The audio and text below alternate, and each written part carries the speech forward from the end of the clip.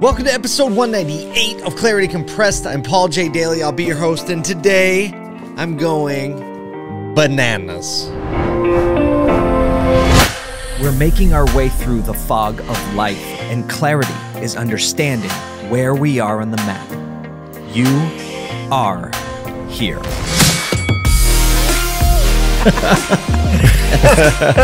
Let the good times roll.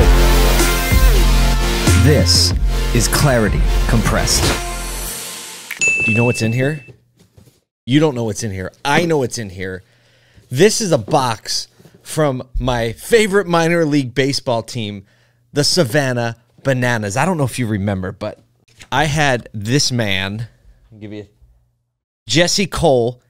He is the CEO of the Savannah Bananas on this podcast. Oh, I don't know. It was over a year ago, maybe two years ago. So I'll consider myself an early adopter there. Had him on the podcast. He bought a major minor league baseball team, put it in Savannah, named the team the Savannah Bananas because of this whole thing. He wears a yellow tuxedo and he operates under the premise of customer experience always wins, which is why he says people want to be entertained. What- Which is why he does things like hire a breakdancer for a first base coach and say, you know what, we can teach him to coach first base. We need someone who can make people engaged and energetic this minor league baseball team is like sold out for the next couple of years. And so I, as being a student of brand and customer experience, I attached to Jesse right away. Magnetic personality, willing to take risks, willing to be different in order to give people a feeling, right? The good feeling. Now he's been picked up by like ESPN and all these major networks that are focusing on him. He's exploding. The team's exploding. They're on a tour. And I was like, you know what? It's all because he was on this pot. I'm just kidding. That is not why. But I was like, I need a little piece of Savannah Bananas history. I need to get some swag. So this box just came in this week. And I have a little story about customer experience that I thought was super important to share here.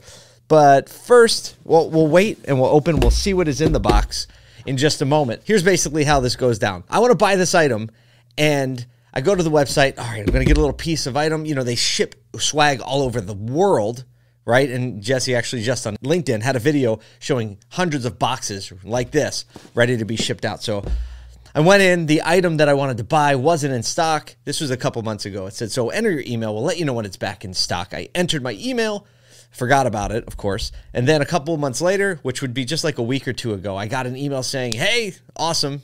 Your swag is back in stock. If you want to order it, pick it up here. So clicked on the link, went through to the cart and, you know, ordered the item, go to cart, and it said something really interesting. It said, pay with Coinbase. I was like, I could pay with cryptocurrency? I've never bought anything with cryptocurrency before. And I thought it was really appropriate. I'm going to try to make this my first retail purchase with cryptocurrency and how appropriate that it would be the Savannah Bananas swag um, and my man Jesse Cole pushing the boundary. So I clicked on a little button that says pay with Coinbase. And I was like, how are they going to pull this off? And then you know what? Little little QR code pops up. Oh, that's how. Select Bitcoin, scan the QR code with my Coinbase app. Great. And then it says payment sent. Right? Well, I had to put in the amount that I wanted to pay.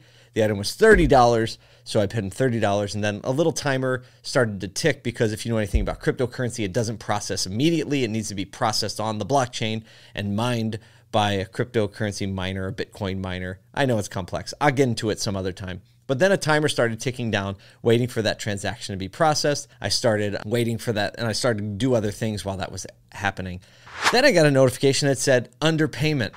And it said, you know, you can email here. I was like, oh, well, you know, I didn't have super high hopes. It was a cryptocurrency payment. Really, we're talking about groundbreaking stuff.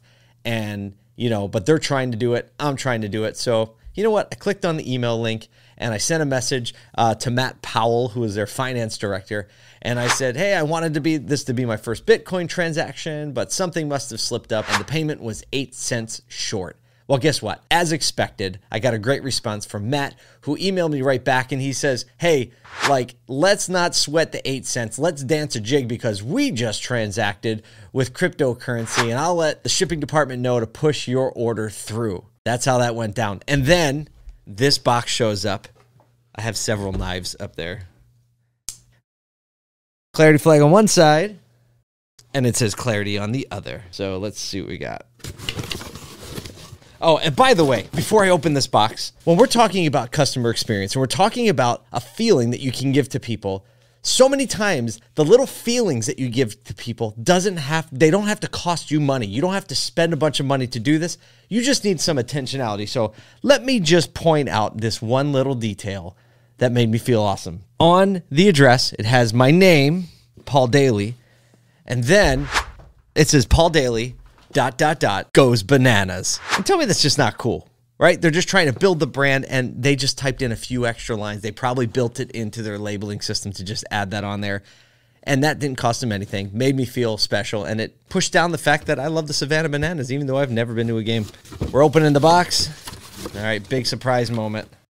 Are you surprised I bought a Savannah Bananas flat brim hat? There we go. Much better. Well, not much better, but be honest. So I'm wearing my Savannah Bananas hat now. And let's see what else we have in here. We have um, we have a letter from the shipping department. Two young ladies who shipped the item. Right? It says your order made our day. We hope it makes yours. Your support means the world to us. A little surprise and delight.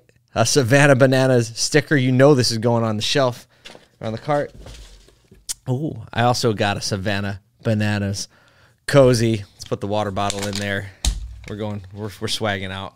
Let's review. There is a team, a minor league baseball team in Savannah named the Savannah Bananas. They operate on the premise that customer experience is everything, and people go to baseball games to have fun and make memories, not necessarily to see baseball. So they have dancing baseball players, they have all kinds of antics. The owner wears a yellow tuxedo. They ship swag all over the world, not because people will ever see a game, be able to watch a game on TV, but because people connected and entered into the story. It gave them a feeling, and that is why I bought this hat. That is how I initially found Jesse Cole, had him on the podcast.